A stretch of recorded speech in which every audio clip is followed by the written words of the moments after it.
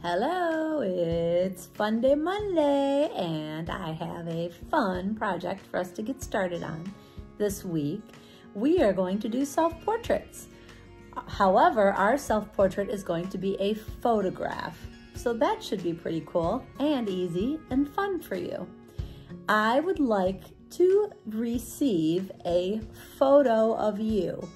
Now, our photo is going to be considered a quarantine portrait, which means it's going to be a photo of you during this quarantine time where we have been stuck at home for the last six weeks.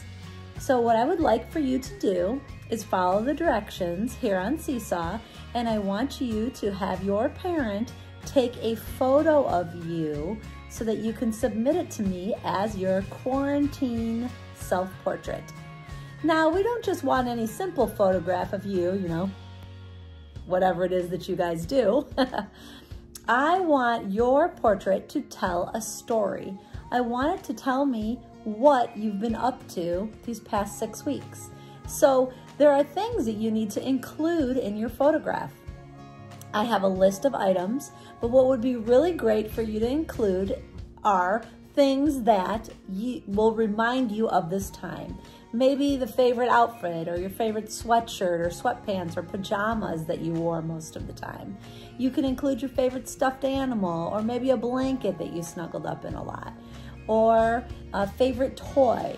You should include the device that you're using to do all of your schoolwork, like a laptop or an iPad. If you listen to a lot of music, maybe include your iPod or a phone. Include your favorite book or a book that you've been reading during this time. It should be a reflection of what's going on.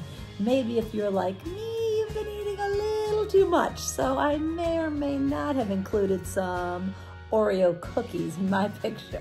As you can see, I have chosen an area in my home that has really good lighting and a nice simple background. I grabbed all the items that I listed. I have hobbies that I have been doing over the quarantine, my sketchbook, some books.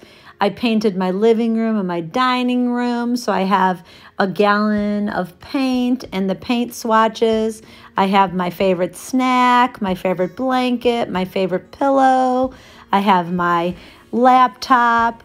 On my iPad there, you can see my TV show that I watched a series on Netflix over break that I just loved.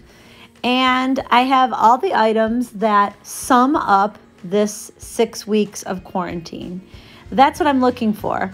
My favorite part of being stuck here at home is being able to spend time with my little Junebug, my granddaughter. So I included her in my self portrait as well. You can grab any of the items you like, lay them out the way I did here, and then plant yourself in the middle of it and have your parent help you get a nice, clear photo. There's some other ideas for you at the end with some images of other quarantine self portraits I found on the internet. You can include anything that's going to tell me something about you and the time you've been spending. I want you to think about all the items on the list, gather them all up, and have your parents take a photo of you with all of these items so we can have a quarantine self-portrait. Parents, please make sure that you find a spot that has really good lighting, a nice simple background, and send me here on Seesaw a really nice, clear, crisp photo. I'm really looking forward to see your quarantine self-portraits. And I think this is something that your parents will probably like to keep. And maybe you could make one for your brother and sister or everyone in your family. So enjoy. I miss you. And I can't wait to see your quarantine self-portrait.